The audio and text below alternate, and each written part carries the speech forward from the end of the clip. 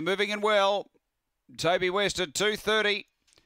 350 Coldesky. $6 Webleck Rebel. Light on, we're ready. Sassy Izzy at $9. $11 Love and Rain. Set to go. On their journey, Speed Sassy Izzy off the inside. Webleck Rebel out quickly. They go to the first bend. Sassy Izzy's going to drive and lead. Webleck Rebel got a check and drop back, getting to second. Love and Rain. Uh, Toby West improves around the outside. Then Maltese News, Webleck Rebel, and Coldesky back at the tail. Down the back, Sassy Izzy out two and a half. Toby West gives chase quickly. Then Love and Rain. And next is Coldesky. They race up to the turn. Sassy Izzy the leader. Off its back, Love and Rain. Toby West coming on strongly now. Over the top, Toby West. Two good beats, Love and Rain, Sassy Izzy and Coldesky. Uh, then came Webleck uh, Rebel, and back at the tail end uh, was Maltese News. The time is 31.46. Toby West has uh, been too good.